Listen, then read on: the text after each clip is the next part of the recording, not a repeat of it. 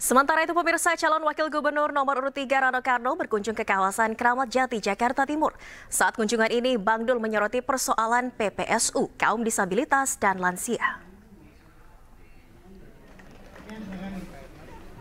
Di hadapan warga, Rano mengatakan akan membenahi aturan soal perekrutan tenaga PPSU. Ia menyerap aspirasi warga yang menyoroti soal persyaratan menjadi PPSU yang membutuhkan ijazah dan pengalaman Nah, kerja. Itu program PKK. Rano berjanji ke depan perekrutan tenaga PPSU Jakarta tidak akan dipersulit dengan persyaratan ijazah dan pendidikan. Tentang PPSU. Ia juga menyinggung tentang produktivitas lansia dan memberi contoh pekerjaan yang bisa dilakukan lansia di luar negeri.